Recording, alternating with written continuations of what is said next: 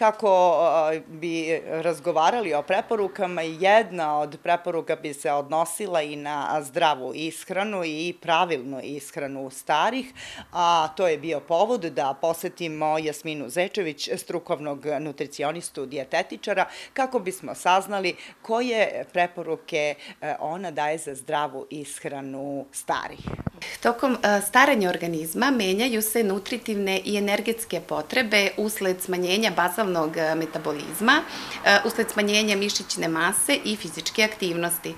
Kod starih osoba s jedne strane može doći do povećanja telesne mase koja je uzrok znači smanjenog rada bazalnog metabolizma, a sa druge strane može doći do smanjene telesne težine usled prosto kod starih osoba oni imaju često problema sa vilicama, veštačkim zubima, pa ne mogu da žvaću hranu, samim tim i gube na težini, zbog korišćenja nekih lekova koji ometaju čula mirisa i ukusa, e, zbog eto, nekih čak i depresivnih stanja. Um, to izmenjeno i oslabljeno čulo ukusa se često povezuje sa uh, povećanom upotrebom slatkiša. Um, Što se tiče te neke nepravilne i neadekvatne ishrane kod, e, po suštini i svih osoba, pogotovo kod starijih, može izazvati stanje pothranjenosti, e, može izazvati gojaznost, e, može izazvati diabetes, kardiovaskularne bolesti, može izazvati neka reumatska oboljenja, osteoporozu, osteopeniju i raznorazne bolesti. Stare osobe pravilnom ishranom mogu znatno da poboljšaju kvalitet svog života, s obzirom da ne jedu kako treba, kao nekada što su jeli, njihov dnevni, taj jelovnik treba u potpunosti da zadovoljava njihove te neke nutritivne dnevne potrebe.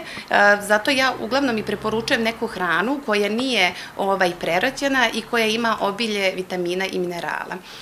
Ishrana starih treba da se zasniva na nekih pet obroka, to su tri glavna obroka, doručak, ručak, večera i dve užine. E, ishrana treba biti znači uravnotežena, da sadrži i proteine, i masti, i ugljene hidrate i naravno da se ograniče te neke e, zasićene masti, prosti šećeri i soli. E, akcena treba biti znači, na tom nekom svežem e, voću i povrću, na mesu, na jajima, e, ribi, mlečnim proizvodima i mlečnim e, prerađevinama.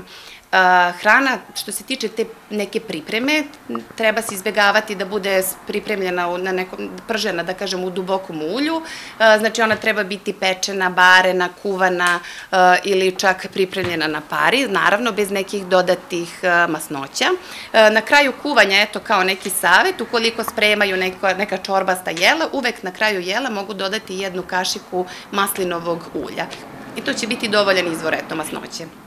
E, što se e, mleka konkretno tiče, tokom starenja, e, prosto starenje utiče na varenje, pa nekim osobama mogu i smetati ti mlečni proizvodi i zato ćemo možda smanjiti tu upotrebu eto, da piju čisto mleko, pa će oni jesti te neke mlečne prerađevine kao što su sirevi, ti neki nemasni, neslani mladi sirevi, kefir, jogurt, kiselo mleko.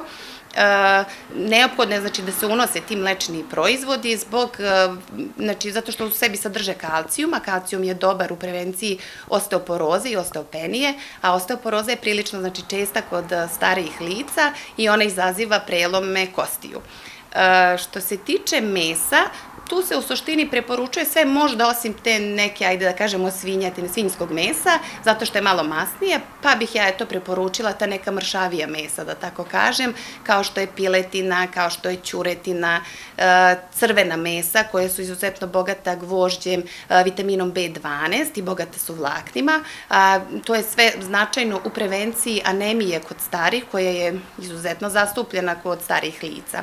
E, takođe riba, da se konzumira jedno tri puta nedeljno, par po 100 grama, eto, da se unese, ovaj, zato što je riba bogata, poznato i omega-3 masnim kiselinama, e, koje smanjuju rizik za nastanak e, ovih kardiovaskularnih bolesti, znači to je snižavaju LDL, odnosno u narodu poznat loš holesterol. Što se tiče povrća, tu bih isto rekla da prosto da se koristi to neko celo povrće, ne prerađeno, sveže salate, međutim, naravno, kroz jela će se ono bariti, peći ili kako već po želji pripremati. Posebni akcenat bi stavila na zeleno lisnato povrće, kao što su kupus, karfiol, brokoli, kelj, prokelj. Oni su dobar izvor gvožđa, cinka i ovih beta karotena, takođe imaju puno vitamina i minerala i oni samim tim e, pomažu u jačanju imunog e, sistema. E, kod upotrebe ovog, kod upotrebe ovog zelenog listnatog povrća, da kažem, treba voditi računa kod osoba koje koriste antikoagulantnu terapiju, zato što to povrće sadrži vitamin K, koji može da koči prosto učinak antikoagulanata, odnosno terapije za spričavanje, zgrušavanje krvi.